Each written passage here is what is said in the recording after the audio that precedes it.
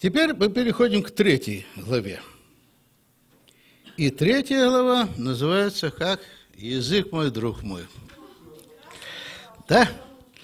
Видите, все опять-таки начинается с языка.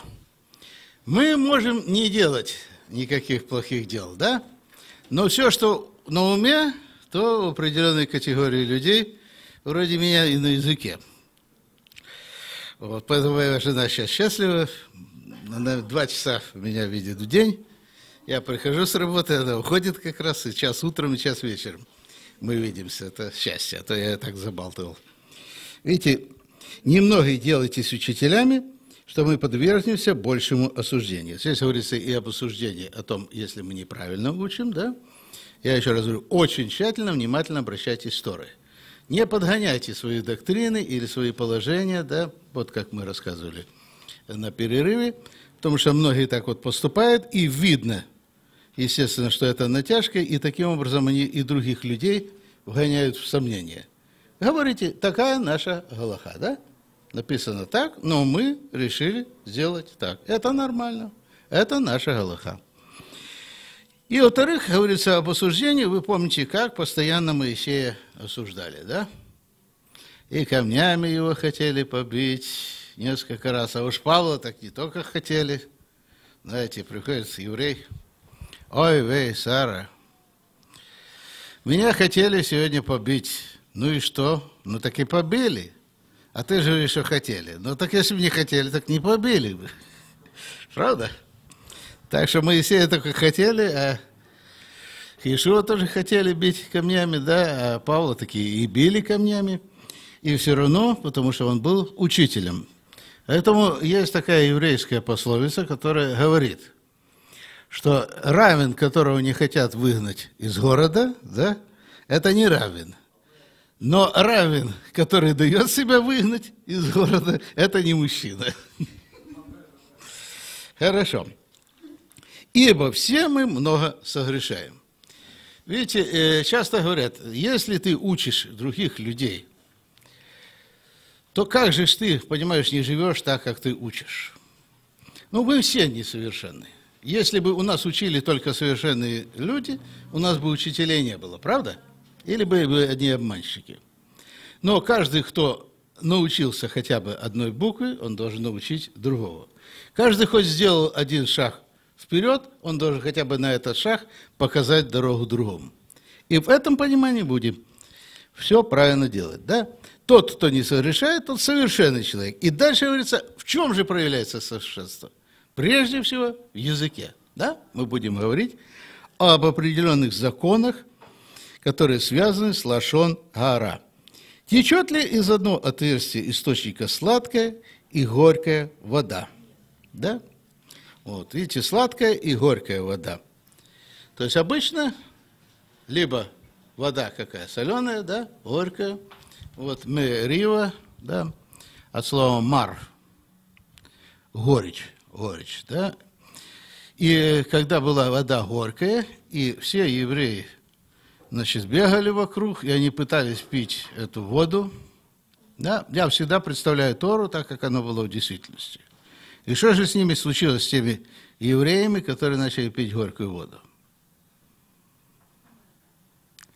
Глауберова соль является хорошим слабительным средством на горькое. Знаете, какой их понос начался? Ой-вей. Ой-вей. И тогда они побежали к Иешуа. Он взял дерево, да? Дерево прообраз креста, положил туда, и вода сделалась сладкой. То есть, оказывается, может вода быть горькой, а потом стать сладкой. Но у человека это чаще бывает и горькое, и сладкое, да? Я дошел такое место очень интересное, один пишет, что говорит, мы осуждаем человека чаще, чем дышим осуждаем других. Понимаете? Есть суждение, есть осуждение.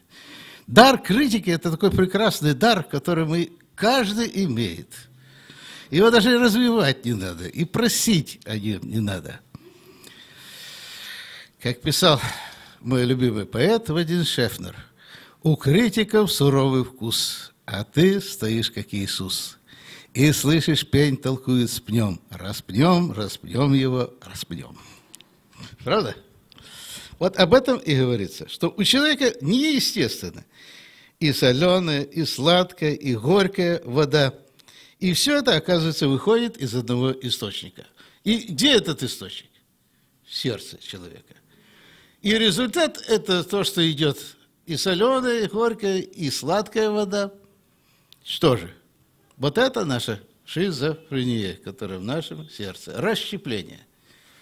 Видите, познание добра и зла. Добро и зло не может быть в одном сердце. Либо должно быть добро, да, либо зло. А если они вместе, значит, они постоянно будут бороться. Поэтому человек может не совершать плохих дел. Но вы знаете, рано или поздно через язык его все вылезет. Как бы он ни пытался. Десять лет пройдет, но все равно выскажет. Даже помните, Моисей, который был кратчайшим человеком, у него все это скапливалось, скапливалось, и он в конце концов высказал. Это все как вот фурункул, знаете, который нужно вскрыть, а он все больше и больше напряжения, а потом брыжет ноем. И опять говорится о мудрости, о мудрости. И если кто-то в сердце имеет горькую зависть, сварливость, то не хватайтесь, не хвалитесь и не лгите на истину. Это не есть мудрость. Видите, зависть. Да? Зависть – это было первое разрушительное чувство, которое привело к убийству. Это мы знаем, два брата, да? Каин и Авель. И зависть является наиболее разрушительным чувством. Оно разрушает и того, которого завидуем, но прежде всего разрушает кого? То, кто завидует. Тот, кто завидует. Э, как-нибудь, может быть, там послушать Рау Исаак Зильбера, там есть зависть и очень хорошая у него лекция. А сварливость, что опять-таки? Ропот, недовольство, да? Мы ропщим, мы недовольны, да? Глагол «мекабель» – это глагол длительного действия. «Менаген» и так далее. «Мешалем» – оплачивать. То есть это глагол длительного действия. А есть глагол одноразового действия.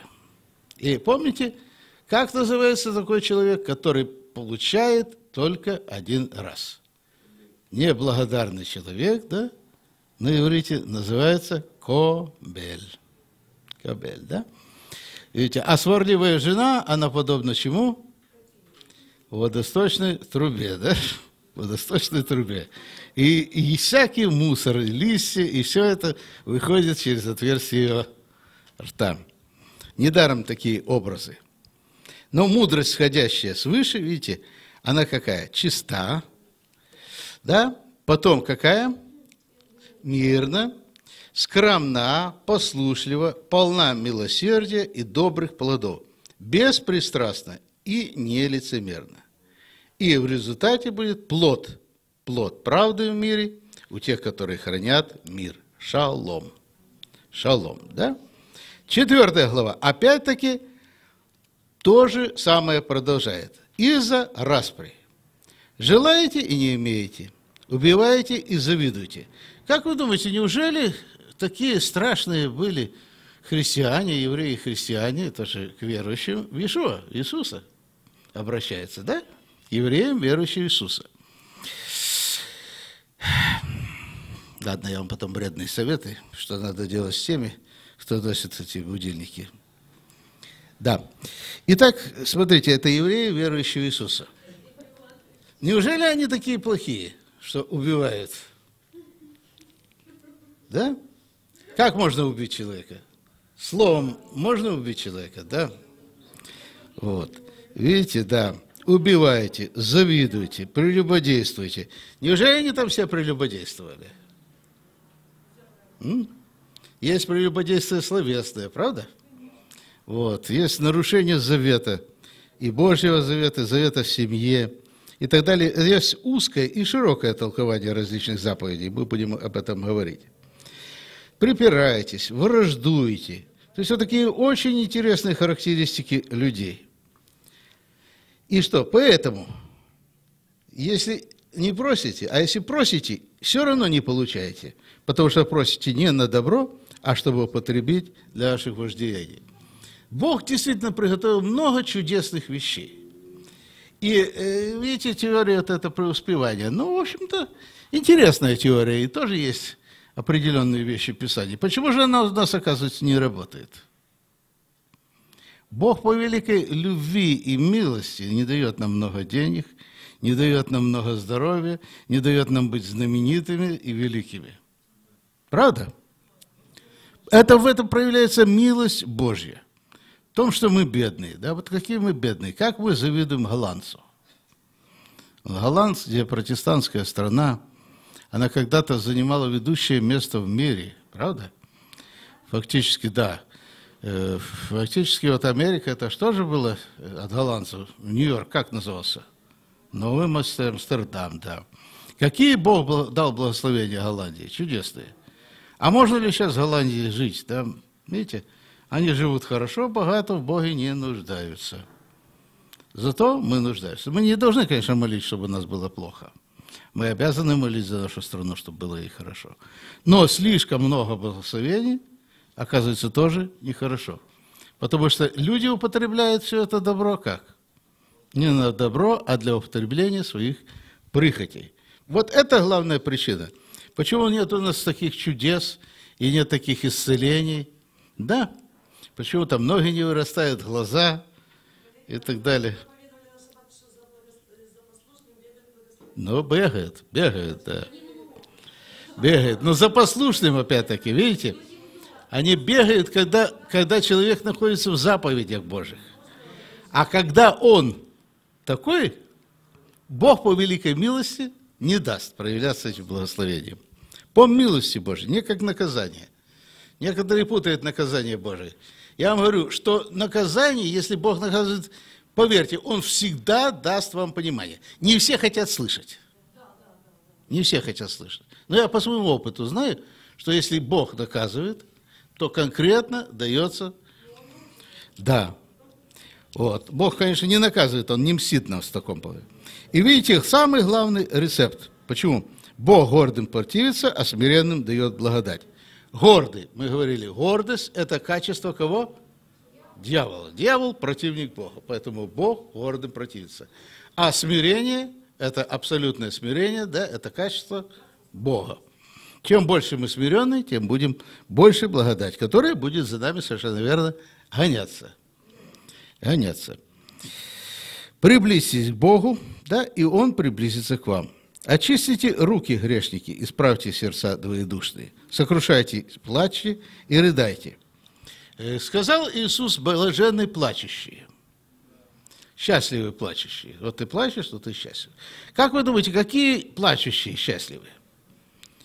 Ну, если тебя бьют и плачут, ты плачешь. Да. Человек, который смотрит, да, который смотрит за себя и видит, и это возникает, если совершенно верно, печаль по Богу, которая дает покаяние. Вот эти плачущие – они благословенны. Потому что можно всю жизнь плакать и роптать на Бога, и в этой жизни ничего не будешь иметь, и в следующей жизни.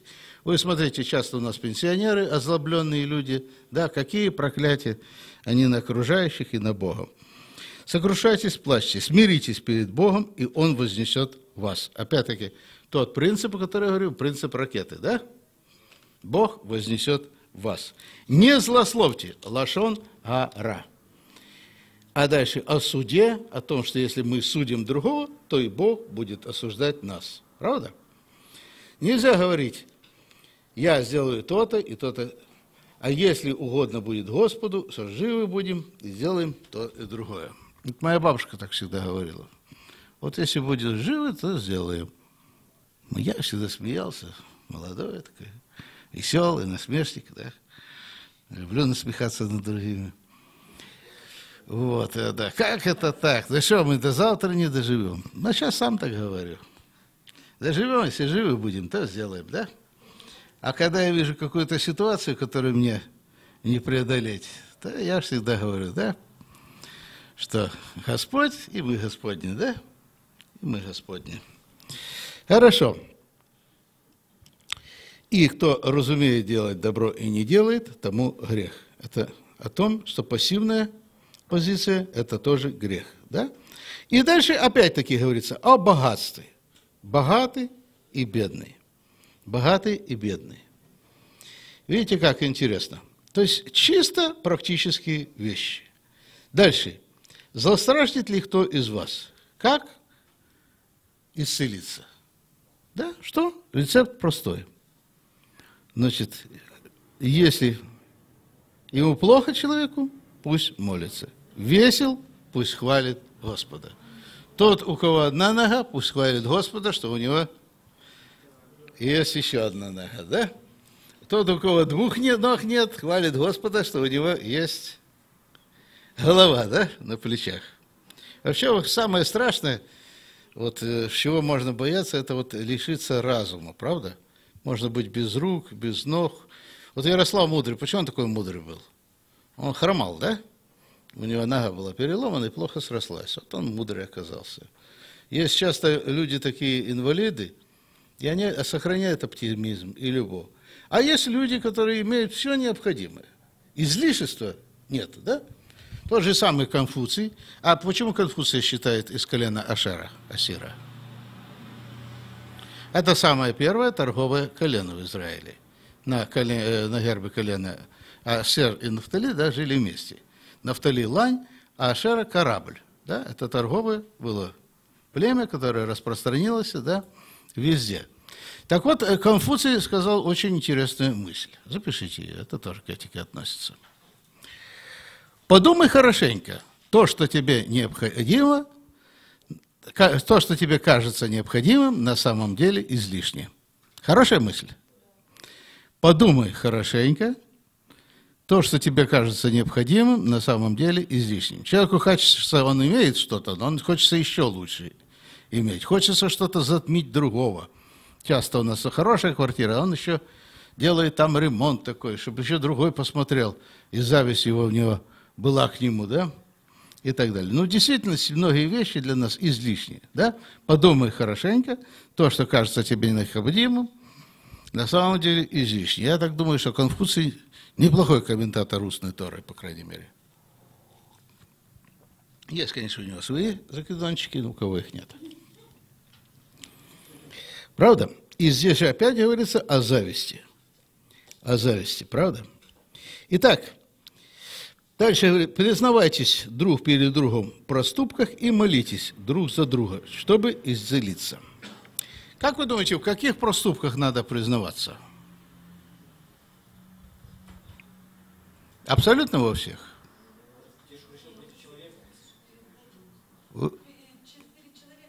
Да, значит, видите, когда вы перед человеком виновны, да, в чем-либо, прежде чем вот будет э, у нас праздник особый, да, даже несколько, целая серия праздников осенних, связанных с покаянием, человек прежде всего должен уладить дела с человеком.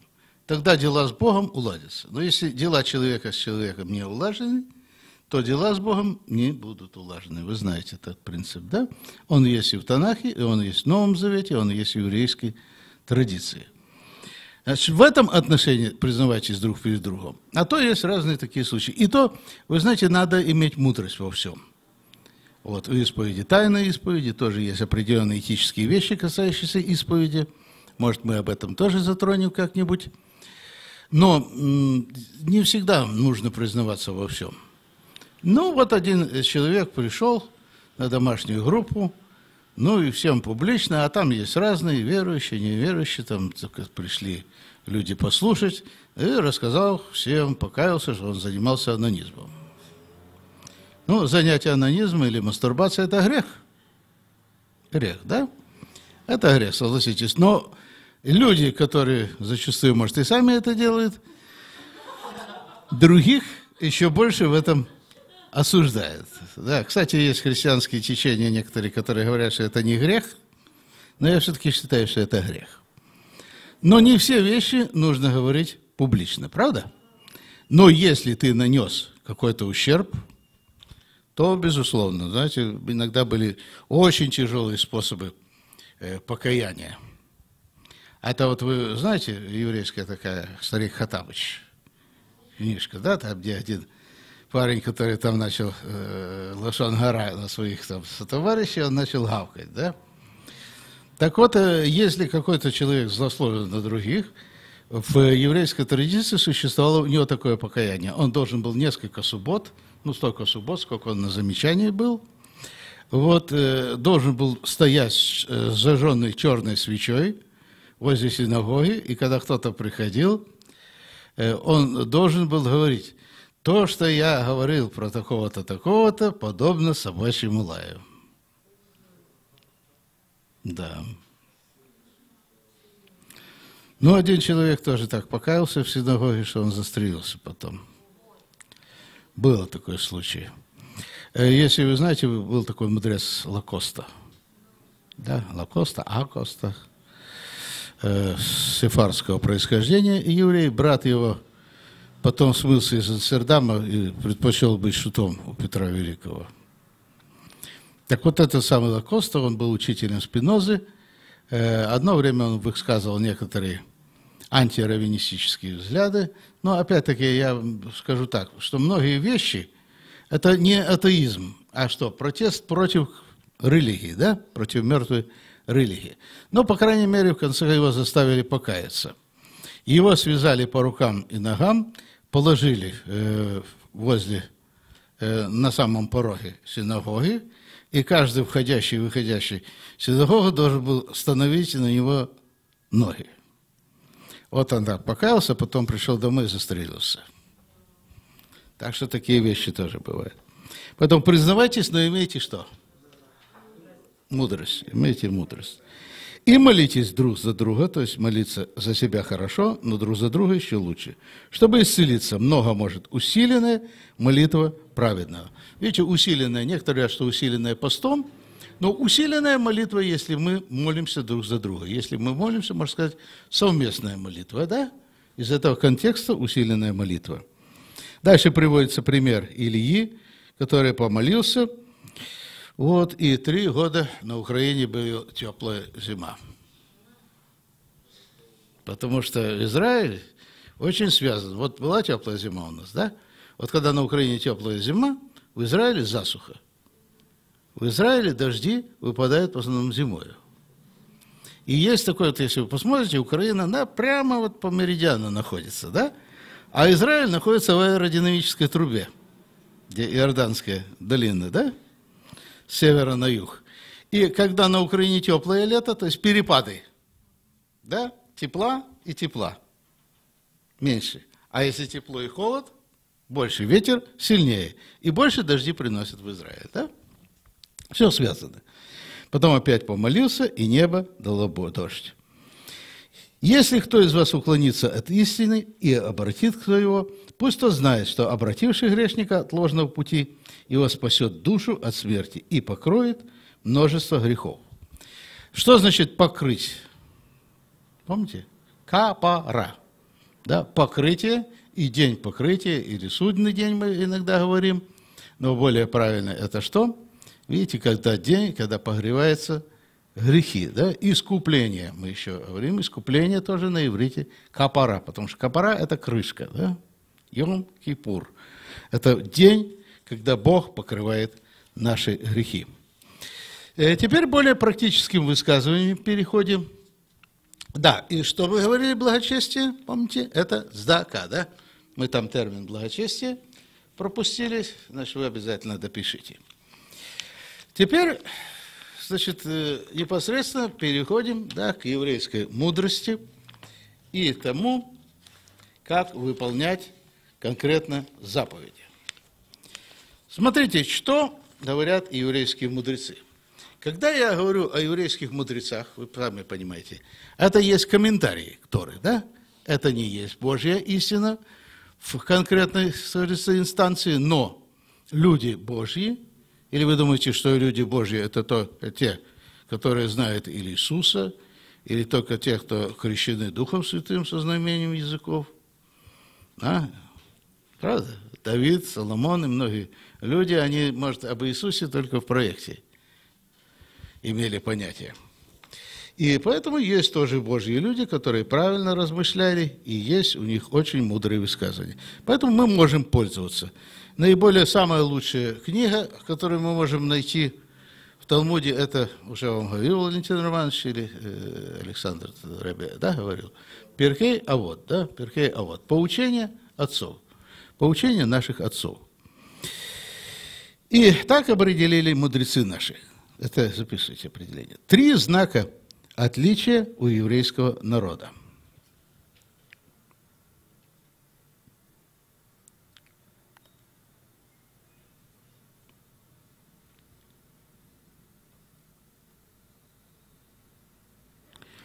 Милосердие, застенчивость, или можете поставить скобку скромность и благотворительность. Три знака отличия еврейского народа. Милосердие, застенчивость или скромность и благотворительность. Застенчивость – это не тот, кто за стенку держится, вы понимаете. А то я как выпью, так сразу застенчивым делаешь. Хорошо.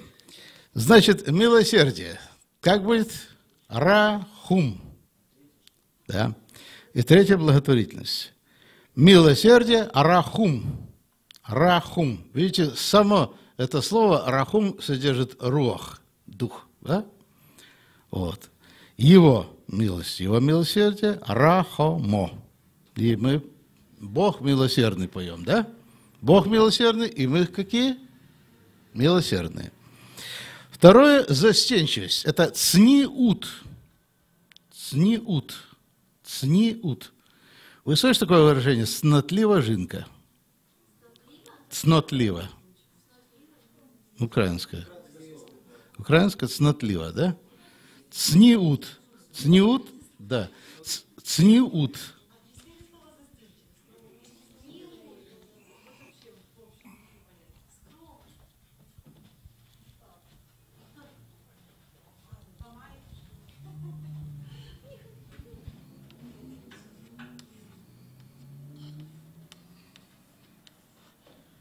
Цниут.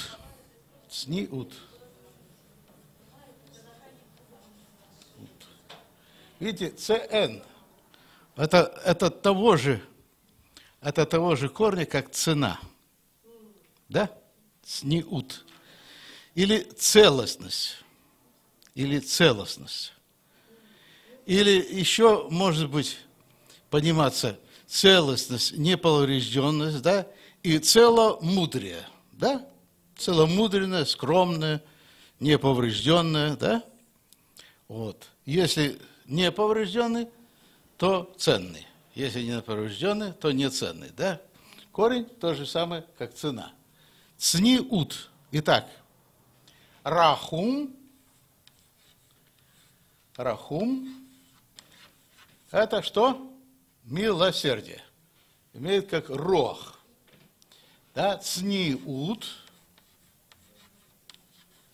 Так, и что мы говорили? Благотворительность. Сдака. Сдака, да, праведность, благотворительность, благочестие. И это все включает в себя это слово. Итак, три качества еврейского народа. Милосердие, застенчивость или скромность и благотворительность.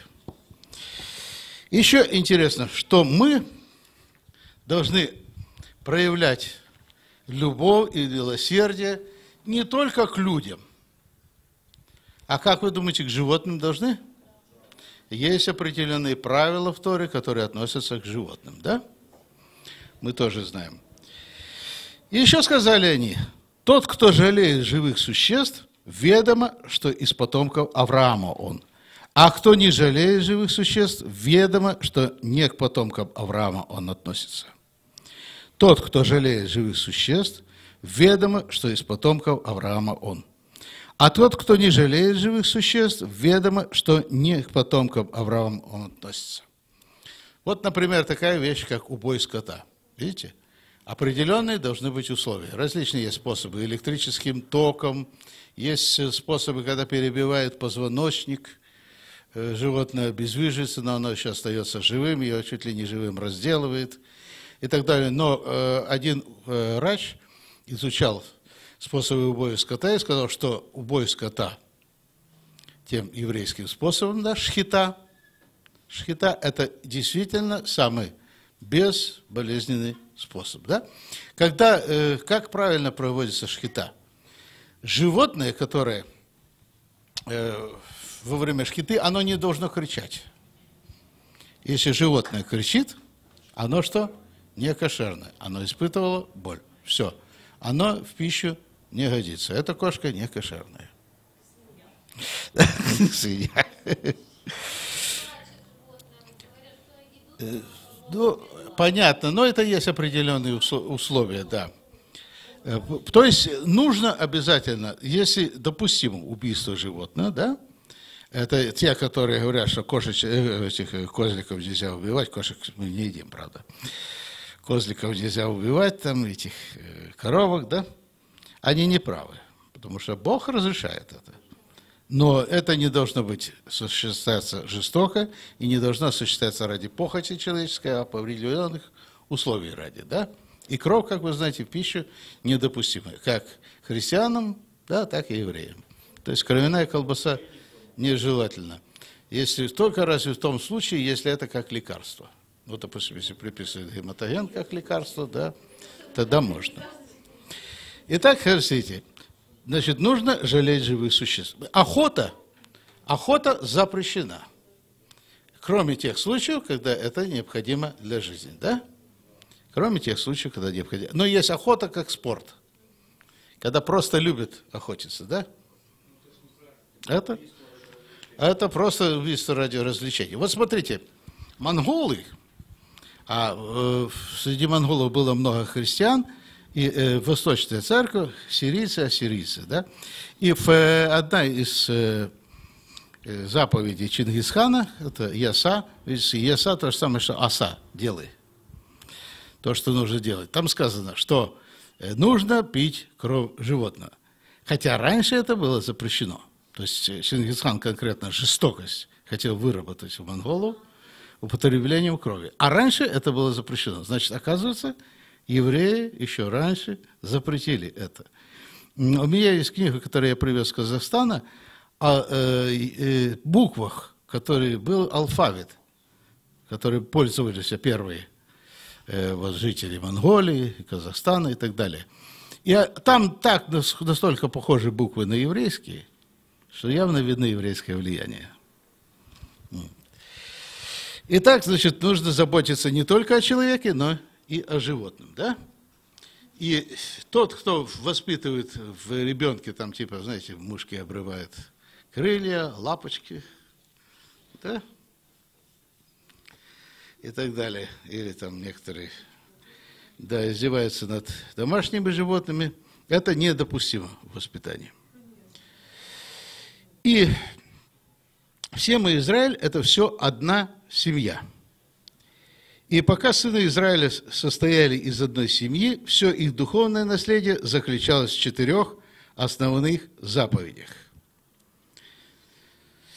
Вот, Авраам, Исаак, Иаков, да?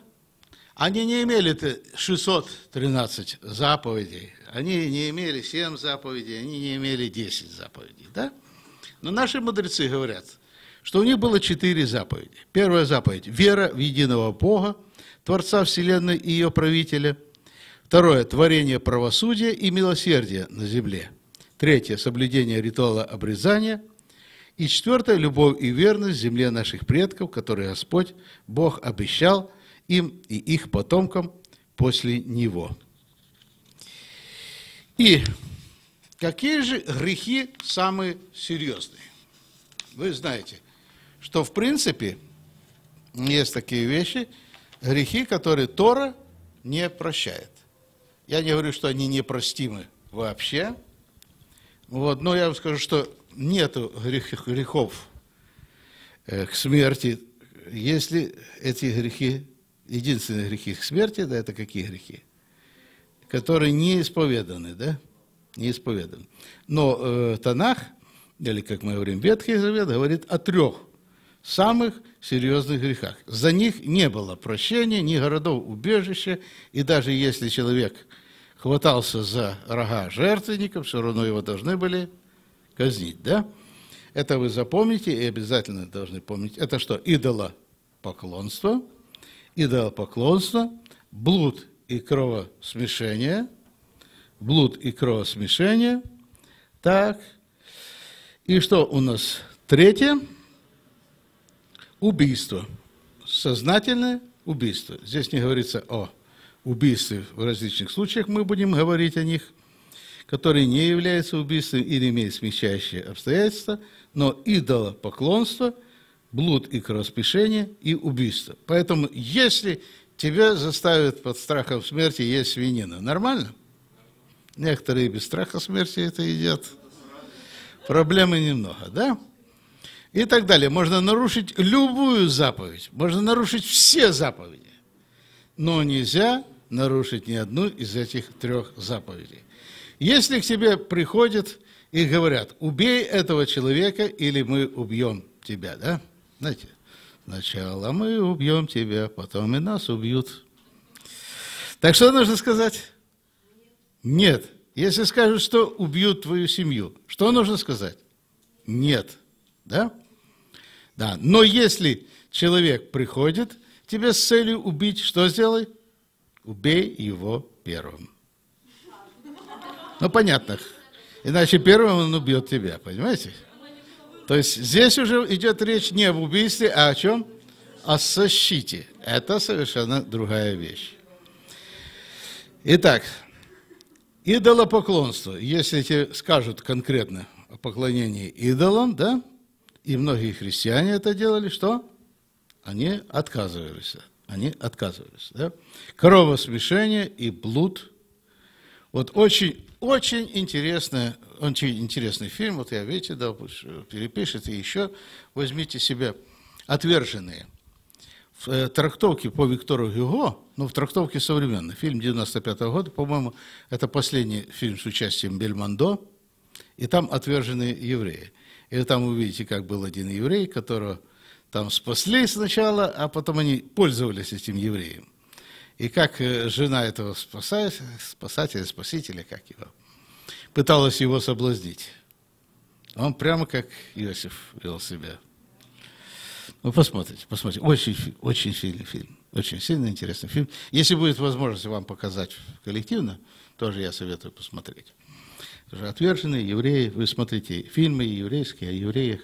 Это очень интересная вещь. Значит, три вещи. Запрет идолопоклонства – это первая заповедь. Исход 20 глава, второй стих. «Я Господь Бог твой, который вывел тебя из земли египетской». Да? Да, 20 глава, второй стих. «Из дома рабства, да не будет у тебя других богов перед лицом моим».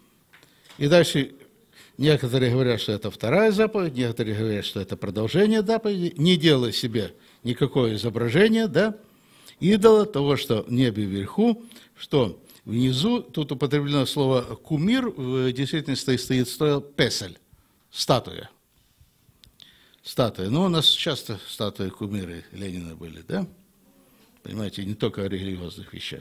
Не поклоняйся и не служи. Некоторые говорят так, что это одна заповедь, да? Не делай изображения, не поклоняйся и не служи. То есть не делай изображения с целью поклонения, да? Э, а как решил этот вопрос великий и мудрый Мухаммед, у которого мама была еврейка? Вы знаете, что у него мама была еврейка, он был кошерный еврей. Вообще все течения, удивительно, почти что все создавались евреями. Да. Так что сказал Магомед? Нельзя делать вообще никакое изображение. Это есть выполнение заповеди? Это ограда. Это чисто еврейский принцип, да? Ограда – это заповедь. Ну, узорчики делают, на, не должны животных изображать и так далее. Ну, евреи обычно не изображают животных, но иногда лань изображается, или животные, которые на э, гербах э, Израиля бывают. Да, вот тут у вас где-то есть с изображением лани подсвечник. Бывает иногда изображен лев, да, и так далее. Но это не с целью поклонения, да. Запрет кровосмешения, значит, здесь две заповеди, да? Вот. И говорят, не прелюбодействуй. И есть еще много заповедей, а которые говорят о различных формах прелюбодеяния, да, кровосмешения и так далее. Вот. Кровосмешение употребляется буквально термин гилгулат – качение вниз. Человек, который совершает кровосмешение, там даже не смешение, а качение вниз. Куда он катится? Да, в ад, в преисподнюю. И запрет о кровопролитии, да, шестая заповедь, исход 20 глава 13 стих, не убивай. Буквально не совершай преступление убийства. Не вообще говорится об убийстве, как лишение человека жизни. Было много неправильных трактовок этого. Так, перерыв, да?